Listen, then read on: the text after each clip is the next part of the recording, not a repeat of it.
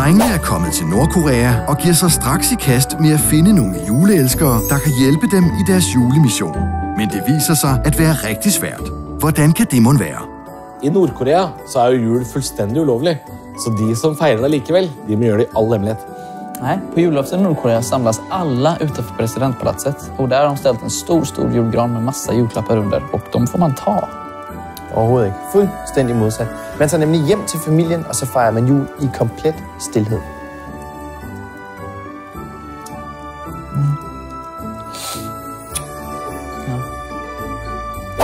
Har julemanden mon bare forlagt sin harddisk? Findes den overhovedet? Og hvem siger, man ikke kan danse til jazz? Følg med i morgen.